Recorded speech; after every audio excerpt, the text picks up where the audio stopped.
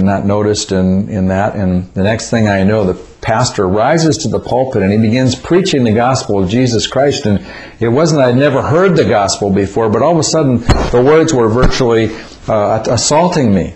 And I was, I was uh, uh, amazed at how I was being uh, affected by this word. And I was essentially like this, saying, okay, you got me. I've been stiff arming you for 38 years, but today that's over. I, I realized that uh, that, that I've been making a mess out of my life, and, and I want to just declare that I owe you the very breath that I'm breathing. I owe you the breath that my children are breathing and my wife is breathing. So, whatever you want from me from now on, the answer is yes. You just tell me what you need me to do, and I'll be glad to, um, to adjust my behavior to respond to your requests. So, I gave the Lord a, a blank check over my life at that time. How did you get involved with Harvest Evangelism? In 1992, I was uh, a, still a businessman. I was supporting, uh, partially supporting a missionary uh, from Colorado who was, had a world ministry. And uh, one day he was in my home having dinner at my dinner table, and he was telling us about the trip that he and his wife were proposing to make in uh, uh, in, in November of that same year, 1992.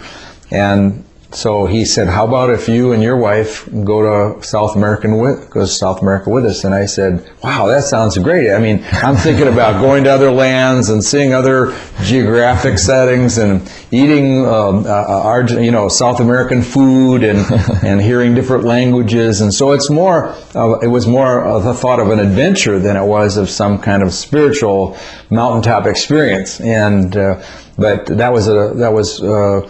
Well, we actually did go to South America. First, we went to Brazil, and then we went to Paraguay, and we ended up in Buenos Aires at uh, the Harvest Evangelism International Institute on prayer evangelism. And no one had given me any insight on what was going to happen at that uh, institute. I just came in there with uh, great expectations, but no particular knowledge of what was going to happen. And and uh, the first night, the uh, two of the top uh, evangelists of Argentina uh, Carlos Annacondia and Claudio Freidzon came to the welcome dinner in an upscale steak restaurant, and uh, and they sat at Ed Silvoso's table. Ed Silvoso is the head of that ministry, Harvest Evangelism, and uh, and uh, they after dinner they asked if they could pray for the guests, and so Ed Silvoso said fine, and so uh, they took their jackets off and stood at the one end of the restaurant, and all of a sudden lines formed, and people were receiving prayer from these two guys. And my wife and I just looked at this. We had never seen anything like this, and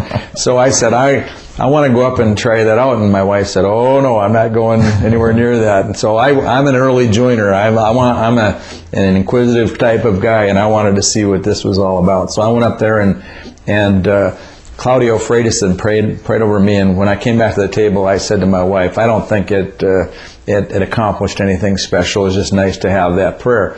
Why was I in for a surprise? I went back to my room that night, and all night, my wife went right to sleep, but all night I didn't sleep at all, mm. and I began to see things leaving my body, and I now understand that I went through a spontaneous deliverance uh, all night long. And uh, when I talked to Ed Silvoso the next day about it, he said that Claudio Freidzon has an anointing of holiness.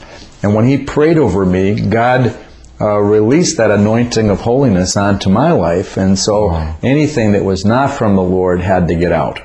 And that's really what I experienced that evening. And that was quite a remarkable experience. And it, it brought me to the point where I remember a phrase that I heard in Argentina so well some things are caught more than they're taught.